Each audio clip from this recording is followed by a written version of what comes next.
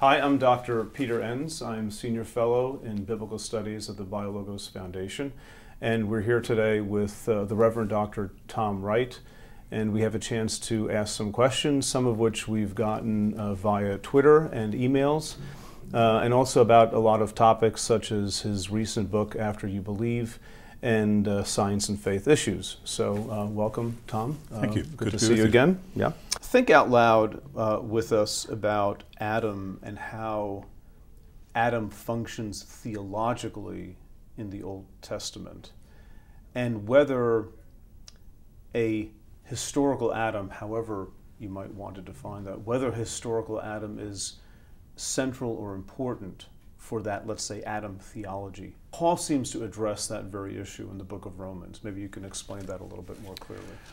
The letter to the Romans has many, many things going on in, in, it. It's an amazing masterpiece. And at the heart of the first half in chapter 5, Paul draws together what he's been saying with a kind of a big picture summary. He's been talking about Abraham and Abraham's family and the way in which the death and resurrection of Jesus constitutes Abraham's family as a worldwide forgiven family. And that enables him to stand back from that and say, now, look, as in Adam, so in the Messiah.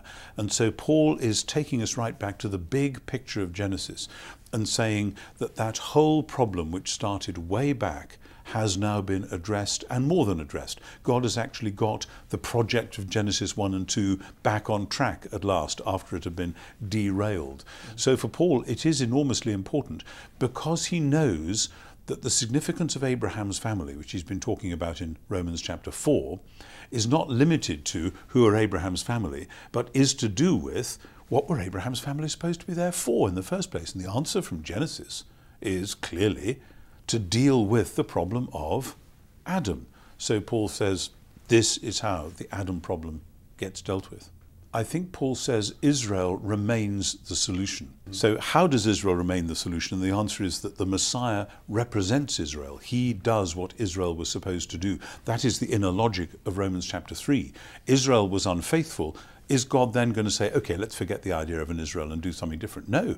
God is committed to saving the world through Israel. Mm-hmm. What he needs is a faithful Israelite. So Romans 3.22 is precisely what you've got. God's covenant faithfulness is revealed through the faithfulness of the Messiah for the benefit of all those who believe. That's how that logic works. So the Israel promise is fulfilled, but it's fulfilled in, in the Messiah. And you can see that aspiration. We are called to be the true humanity. And Paul says, no, actually, it's Jesus who is the truly human one, and anyone who is in Jesus the Messiah is truly human.